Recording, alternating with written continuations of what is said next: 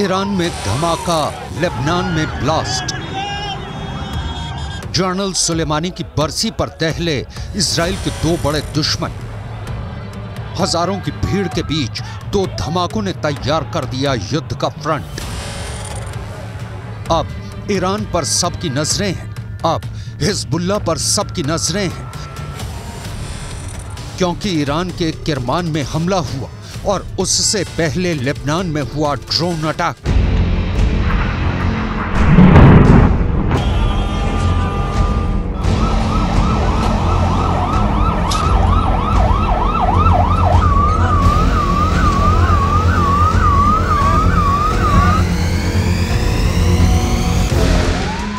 इस धमाके इस आग इस तबाही ने गाजा के बाद दूसरे युद्ध को दावत दे दी है।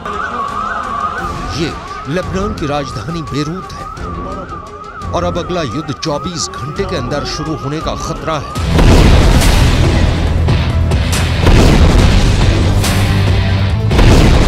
इसकी सबसे बड़ी वजह यह ब्लास्ट है। यह धमाका यह अफरा तफरी युद्ध का सायरन बजने लगा है।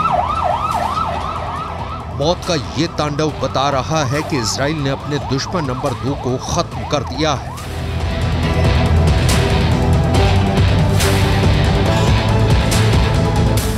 इसराइल ने हमास के पॉलिटिकल ब्यूरो के डिप्टी प्रमुख सालेह अल अरूरी को मार डाला है। लेबनान के बैरूत में हुई ड्रोन स्ट्राइक में हमास के कई अधिकारी मारे गए हैं और इसमें सालेह अल अरूरी सबसे बड़ा नाम है।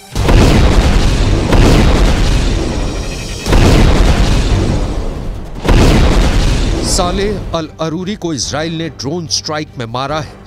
यह हमला बेरूत के दहिया इलाके में जिसे हिजबुल्ला का गढ़ माना जाता है। दहिया में जब सालेह अल अरूरी को हमास के ऑफ़िस के करीब देखा गया, तब इसराइल का ड्रोन मौत बनकर टूट पड़ा। इस हमले में सालेह अल अरूरी के साथ पाँच और लोग मारे गए हैं, जो हमास के ही अधिकारी बताए जा रहे हैं।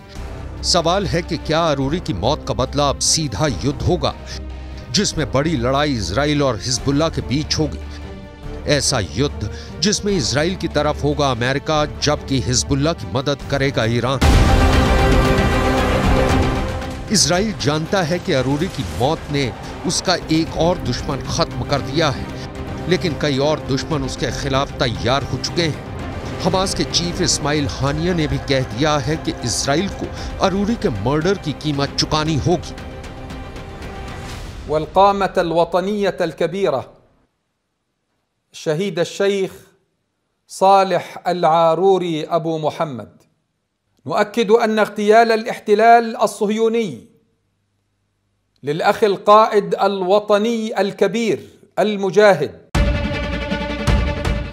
अरूरी की मौत से इसराइल के तीन बड़े दुश्मनों को बहुत जोरदार झटका लगा है। पहला झटका हमास को लगा है, क्योंकि सालेह अल अरूरी इस्माइल हानिया के बाद हमास में दूसरा सबसे बड़ा नाम था। दूसरा झटका ईरान को लगा है, क्योंकि सालेह अल अरूरी ने ही सीरिया में युद्ध को लेकर हिजबुल्ला और ईरान के साथ आए मतभेद को दूर किया था। तीसरा बहुत बड़ा झटका हिजबुल्ला को लगा है क्योंकि इसराइल ने बता दिया है कि अब वो लेबनान की राजधानी बेरूत और हसन नसरल्ला के गढ़ को टारगेट करने से पीछे नहीं हटेगा इसराइल भी इसका असर जानता है लेकिन अरूरी की मौत के बाद इसराइल ने कहा है कि उसका फोकस अब भी गाजा पर है אנחנו במוכנות גבוהה לכל תרחיש.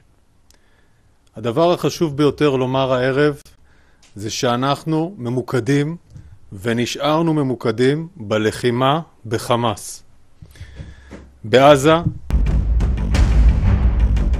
सालेह अल अरूरी इसलिए बड़ा नाम था क्योंकि 7 अक्टूबर के हमले के बारे में जिन टॉप कमांडर्स को जानकारी थी उनमें अरूरी का भी नाम था सालेह अल अरूरी की मौत इसलिए भी हमास को परेशान कर रही है क्योंकि अरूरी ने ही हमास के मिलिट्री विंग को तैयार किया था अब अरूरी की मौत के बाद हमास क्या करेगा?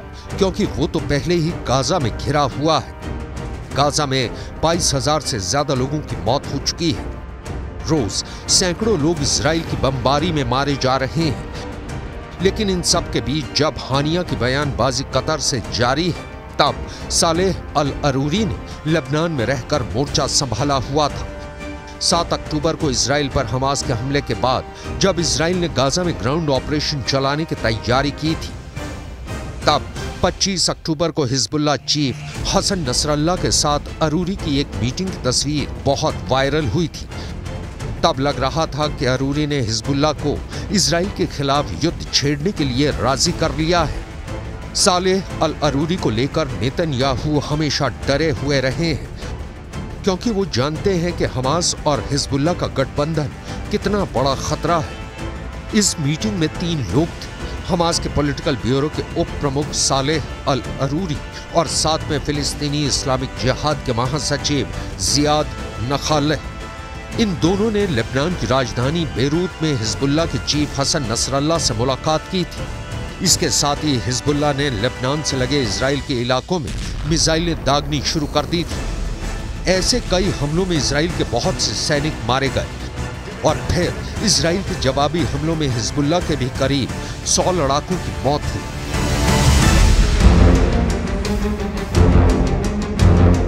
लिहाजा इसराइल का उत्तरी बॉर्डर लगातार उबल रहा था और इसकी वजह साफ़ तौर पर सालेह अल अरूरी और नसरल्ला की मीटिंग थी। यही वजह है कि अमेरिका ने अरूरी की जानकारी देने के लिए 40 करोड़ रुपए का इनाम रखा था। लेकिन अब अरूरी के मारे जाने के बाद इसराइल तो बहुत खुश है, लेकिन अमेरिका की टेंशन बढ़ गई है। दरअसल जब अरूरी पर हमला हुआ, तब अमेरिका अपने एयरक्राफ्ट कैरियर जेराल्ड फोर्ड को लाल सागर से हटाने का फैसला कर चुका था। इसका मतलब है कि अमेरिका अब इस वॉर जोन से हटना चाहता है, या इसमें और ज़्यादा नहीं उलझना चाहता। लेकिन हिजबुल्ला और इसराइल के बीच युद्ध शुरू हुआ तो अमेरिका को इलाके में रुकना होगा। और इसराइल का साथ देना पड़ेगा। अगर युद्ध बढ़ा तो समझ लीजिए कि पूरा पश्चिम एशिया या कहें अरब वर्ल्ड जंग के अंगारों में खोलने लगेगा। हज़ारों लाखों मौत होने का खतरा है, क्योंकि अब इसराइल ने मधुमक्खी का वो छत्ता हिला दिया है, जो गाजा में हज़ारों लोगों और बच्चों की मौत के बावजूद शांत था। इसकी बहुत बड़ी वार्निंग अब संयुक्त राष्ट्र से भी आ गई है। संयुक्त राष्ट्र महासचिव के प्रवक्ता फ्लोरेंसिया नीनो ने जो कहा है उसे बहुत गौर से समझिएगा Because of the escalating tensions and the fragility of the situation in the region, we are calling to, for maximum restraint from all parties. We don't want any any rash any rash actions that could trigger further violence. अगर Hezbollah ने Lebanon Israel border पर हमले तेज किए और खुल्लम खुल्ला युद्ध का ऐलान कर दिया तो इसराइल पर दबाव पड़ेगा। इस बात से इसराइल भी वाकिफ है। गाजा में ग्राउंड ऑपरेशन जारी रहने के दौरान एक और फ्रंट आग उगलने लगेगा और फिर बिना अमेरिका के मदद के ऐसे चैलेंज को एक साथ रोकना इसराइल के लिए बहुत बड़ी चुनौती बन जाएगा। गाजा में हमास के लड़ाकों की तादाद 40 से पचास हज़ार के करीब है। जिसमें से बहुत से मारे भी जा चुके हैं। उत्तर की तरफ़ लेबनान में मिलीशिया हिजबुल्ला की तादाद एक लाख से ज़्यादा है और ये सुपर एक्टिव है। इनके सामने इसराइल में एक्टिव और रिज़र्व फोर्स मिलाकर छह लाख से ज़्यादा सैनिक हैं। ये आंकड़े बताते हैं कि इसराइल के पास चार गुना ताकत है, लेकिन गाजा में ही इसराइल पर हमले बढ़ने लगे हैं। इसराइल के टैंक लगातार जल रहे हैं। हमास ने वीडियो जारी करके बताया है कि कैसे वो छुप छुप कर इसराइल के टैंक को उड़ा रहा है। यहाँ एक सुरंग से निकलकर हमास का एंटी टैंक दस्ता इसराइल के मरकावा टैंक पर बम फिट कर देता है और फिर वापस सुरंग में जाकर छिप जाता है। इस वीडियो में देखिए कैसे खिड़की के रास्ते हमास का एंटी टैंक दस्ता मरकावा टैंक पर यासीन रॉकेट से हमला करता है। गाजा हो, हमास हो, लेबनान हो। हिजबुल्ला हो ईरान हो या फिर इसराइल और साथ में उसके लिए मारने और मिटने को तैयार अमेरिका ये बड़े युद्ध के वो मसाले हैं जो यूक्रेन से भी खतरनाक या कहा जा सकता है कि विश्व युद्ध की पक्की गारंटी दे रहे हैं general urges all parties to exercise maximum restraint and take urgent steps to de escalate tensions in the region. I mean, he, he, he has he was very clear in that he's mentioned it that this continued um, fighting is has the risk of a great miscalculation by multiple actors, and I think this is what we've been seeing um, in different parts of the region, sadly.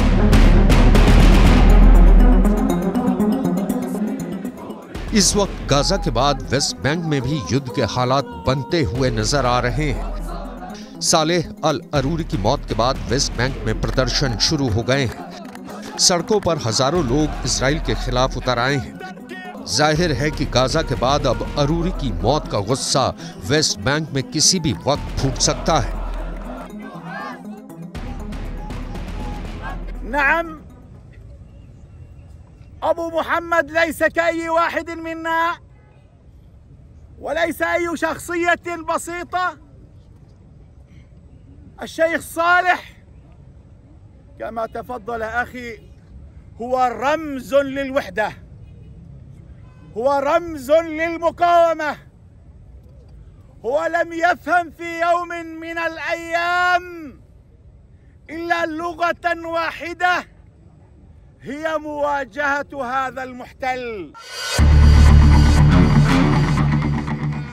देखा जाए तो West Bank Israel के खिलाफ पांचवा मोर्चा है इससे पहले Gaza की लड़ाई है हिजबुल्ला से लड़ाई है हूथी से युद्ध का खतरा बढ़ता जा रहा है।